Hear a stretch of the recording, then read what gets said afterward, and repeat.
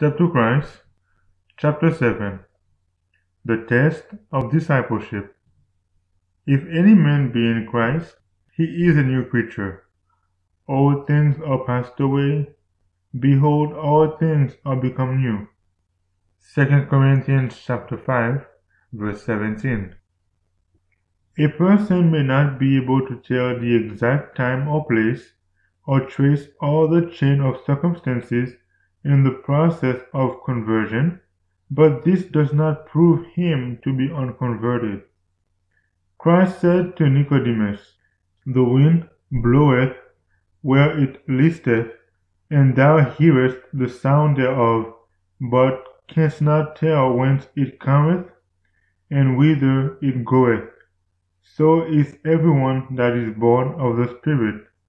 John chapter 3, verse 8.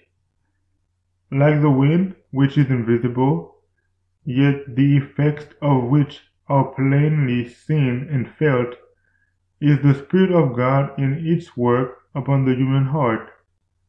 That regenerating power, which no human eye can see, begets a new life in the soul, it creates a new being in the image of God.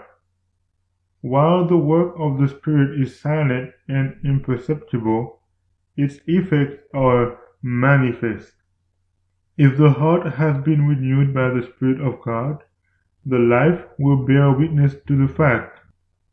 While we cannot do anything to change our hearts or to bring ourselves into harmony with God, while we must not trust at all to ourselves or our good works, our lives will reveal whether the grace of God is dwelling within us. A change will be seen in the character, the habits, the pursuits. The contrast will be clear and decided between what they have been and what they are.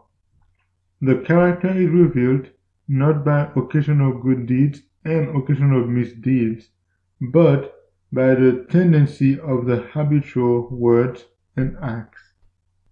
Step to Christ, page 57.